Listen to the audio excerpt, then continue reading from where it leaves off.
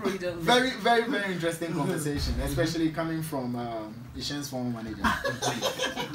I like his angle. Yeah. But you see, if, if you say they should face the consequences, Mhm. for how long? Mhm. You know, for how long? Is it 10 Some years? say indefinite. That's so uh, good. That's where you even make my conversation a bit more sensible. Mhm. Because according to Steve O, Mhm.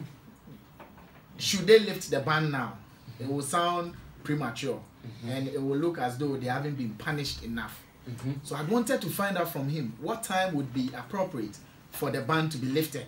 Is it 10 years? Is it 20 years? Is that when he will feel that they've suffered the consequence enough? In the board's own, you know, wisdom, Mhm. they put indefinite. Indefinite sounds like, you know, uh, crazy, but the truth is, it's even safer because indefinite can be lifted anytime, Yeah. either far future or near future. Yeah. Do you get it? Mhm. So, based on that word or statement of indefinite suspension, it means that anytime they feel the people have suffered enough by way of consequences, Mhm. they could lift the ban. Mm. So, if they lift it now, the board wouldn't be wrong. If they lift it five years later, the board still wouldn't be wrong because they say indefinite. It doesn't say you're going to be banned for five years. Where if we come and sit here and say lift it now, you would say we are being unfair because the people in their own wisdom saw that what they did deserves five years of suffering or five years of facing the consequences. And we are now trying to curtail it by asking them to lift it when they've just done a year. Mm-hmm. But the people said indefinite. Mm-hmm. Let's just say when at any point in time they feel they need them to be back on, they could lift it. And I would suggest uh, they faced enough consequence in the hands of VGMA and the board.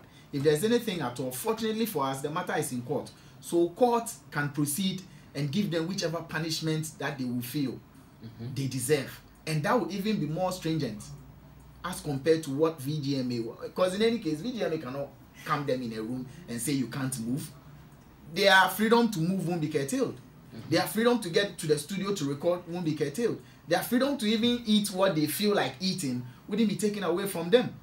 But if the court, well, the matter is in court, so I Sure. don't want to be pre uh, Yeah, judgmental. prejudgmental. Mhm. But if the court finds it necessary that they keep them in the coop, Mhm. then that's even more stringent. So let's look at what the court will be doing more than what VGM. I feel once court has taken it up, VGMA can lift the ban and let the guys, you know, feel free to do what they do. Mm. Once the court has Yes, taken once it, the court has taken it up, Mm. because that's where the mat- that's where the meat is. they are going to take the bigger Yes, decision or the better yes, decision. they are going to take the bigger, better decision, the one that to reform them or reform whoever is listening or Mm. watching what's happening, Mm. and not necessarily what VGMA would do or, what VGMA board would do. Because truth be told, the VGMA board and the entire VGMA scheme is a business, Mhm.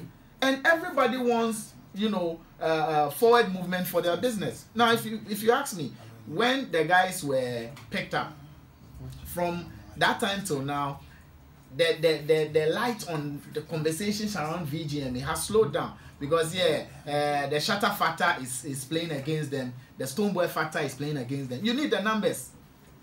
Take it or leave it. If they are not included, numbers are going to be affected. Fortunately for us, we have the court who is dealing with the issue. So why don't you lift the ban? If you lift it, these guys will come together. They will play a role, even if they do not actively promote VGMA 2020. Mhm.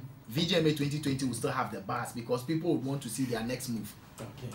You know, people would want to see would Shatter promote it, would Stoneboy promote that whole, you know, uh, uh, um, confusion, Bars. or should I say that whole uh, Conundrum. Conundrum, oh, Chief Charles, around it will make the whole thing look good in terms of numbers.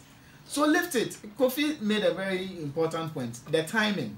Yes, if you lift it now, the whole thing will look like you are lifting it for them to promote your business. But the truth is, you are actually lifting it for them to promote your business. That's that's the truth. You are not lifting and, it. and, and it's not as if they don't need it. They need it. They need it. You know, they need it. We it's all, business. we all remember that uh, I think during last year's awards, Mm. the CEO uh, had a sit down with Shatta Wale. Yes, We sir. were not too sure what they discussed. Yes, sir. But then, as much as they've had that sit down with him, then it Mm. means that it was for the betterment of the scheme. Even after he had played no sitting. Mhm. So when they lift it, whether or not the guys actively campaign, their following we'll talk about it and that will generate a different buzz or another buzz altogether for VGMA 2020. Okay. So I am going for lifting of the ban. Timing might be wrong uh, according to Kofi, but when you think business and you think about the businessman as being selfish, when they lift it, they are going to get what they want. Because yes, if the businessman is selfish, whether you think it's a good move or not, I'm lifting it now so it can benefit my scheme. Mm. They will lift it.